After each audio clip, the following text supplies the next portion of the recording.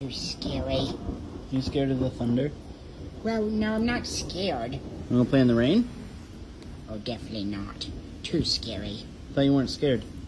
Well, you see, I, I just am just trying to be brave.